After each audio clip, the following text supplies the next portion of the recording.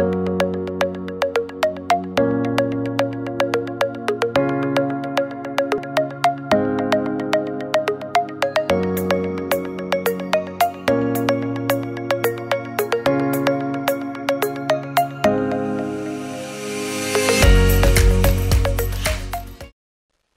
symbols and number names.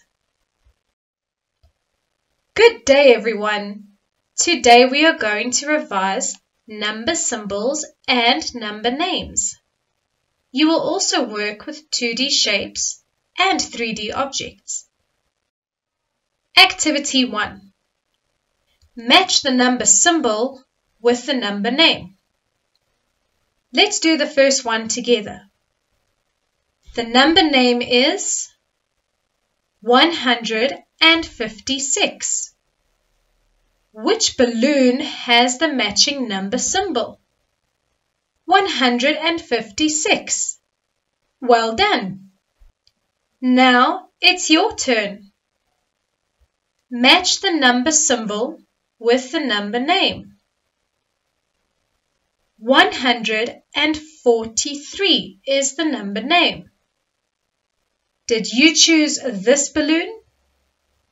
If so, you are correct. Well done. Activity 2. Match each number symbol with the correct number name.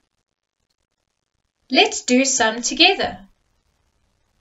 Always start with the highest place value. In all these examples, you need to start with the hundreds. Then look at the tens and then the ones. The first one is 328. Look for a number name that starts with 300. Then 20 and then 8. That is the matching number name. Let's do the next example. 832. Look for a number name that starts with 800. Then 30 and then 2.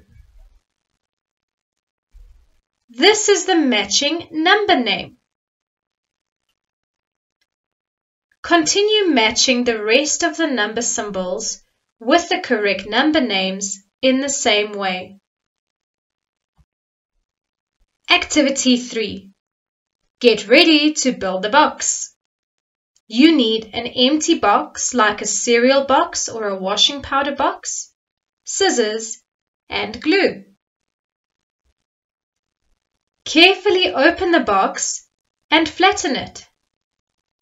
When you flatten the box, you change a 3D object into a 2D shape. Now Glue the box back together. When you glue the box together, you make a 3D object from a 2D shape. Now let's talk about the box.